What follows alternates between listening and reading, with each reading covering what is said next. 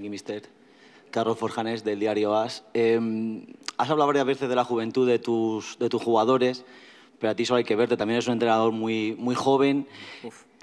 Por eso quería saber un poco también qué, qué extraes tú a nivel personal dentro de tu aprendizaje como entrenador, de, verte a este nivel que, hay que estar y, si has podido hablar con, aunque no has estado en, en, el banquillo con Ancelotti, que es un entrenador que suele hablar mucho con los entrenadores rivales, has podido hablar con él. No, desgraciadamente no he podido. Además le quería dar las gracias porque ayer en rueda de prensa dijo que, eh, que mi expulsión era injusta y, y bueno, que él se moje de esa forma, pues a mí me, me hizo feliz y no podido saludarle porque rápidamente he entrado a saludar a los jugadores y ahora he venido a rueda de prensa, entonces ojalá ahora le pueda, le pueda saludar y darle las gracias.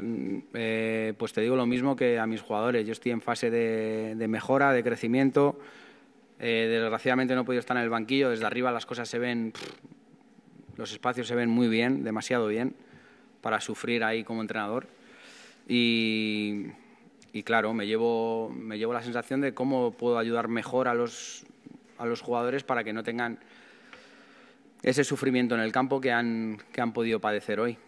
Es algo que mm, yo siempre digo que a mis jugadores intento hacerles mejor, e intento que se diviertan en el terreno de juego, que sufran lo menos posible, dentro de que en la competición siempre se sufre.